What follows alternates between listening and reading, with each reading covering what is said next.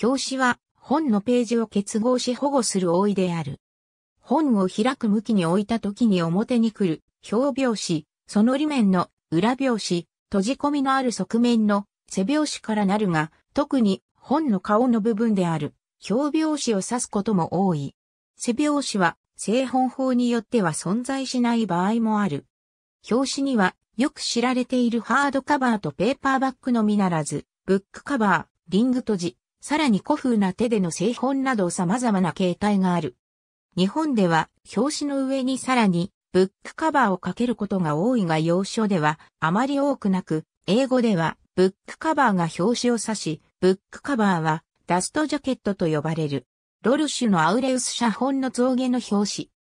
ビクトリアアルバート博物館像中国や日本では昔から多いも紙で製シートで閉じていたが、西洋では19世紀初頭までは本は木、革、金銀、宝石などの重い素材を用いて閉じられていた。数百年もの間、想定は印刷、または手製による高価なページを保護する手段として、またその文化的な権威を明かし立てるものとして、機能してきた。1820年代には本の覆い方に大きな変化が始まり、機械的な製本技術が徐々に導入され始めた。蒸気機関によるプレス機や機械的に製造される紙によって本がとても安価なものになると、手での製本は本自体の価格に釣り合わないものとなってゆき、まず布が、それから紙が定番の素材となっていった。この新しいタイプの表紙は安価に製造できるだけでなく、カラーのリトグラフや、後にはハーフトーンの写真製版によってイラストレーションや写真を印刷することができた。19世紀のポスター制作者から借用してきた技法とグラフィックデザインの職業的な実践が徐々に出版界全体に浸透した。表紙はページを保護するだけではなく、本を宣伝し、本の中身に関する情報を伝達する機能も担うようになった。20世紀初頭のアーツクラフツ運動とアール・ヌーボーが表紙デザインに現代のルネサンスを呼び起こし、ヨーロッパ、ロンドン、ニューヨークの先進的な出版社を通じて成長の途にあった大衆的な出版業界全体へと浸透した。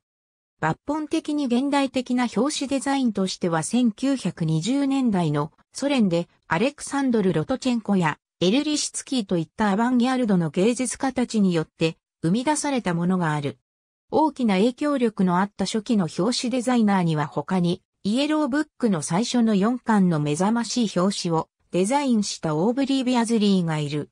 戦後には、表紙は書籍出版会が競争市場となった中で極めて重要な要素となった。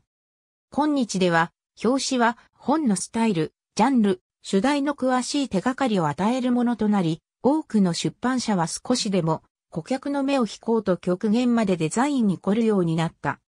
インターネット販売の時代になっても、表紙は二次元デジタル画像の形で本がオンラインで識別され、売れるのを助ける機能を果たし続けており、その重要性はほとんど減じていない。表表紙には、署名と著者名など最低限の書詞事項が入っている。日本では一般的に署名が一番上に配置され、目立つようにされているが、要所では著者名が一番上に配置され、署名より目立つことも多い。明治時代の和装本裏表紙には ISBN や定価などの追加的な書詞情報のほか、本の概要などの宣伝事項が書かれることがある。背表紙には、署名、著者名、出版社名が簡潔に記載される。雑誌では表紙については表1、表2、表3、表4という。表1以外は広告が入ることがほとんどである。書籍出版業界では本の外観、特にその画像のことを書影という。前後間にある総書の立体的な書影出版社では複数のオンライン書店、書評サイトなどから書影が求められることから一般的には後者を意味する。表紙周りとは本、特に雑誌の表紙4面のことを言う。表周りとも言う。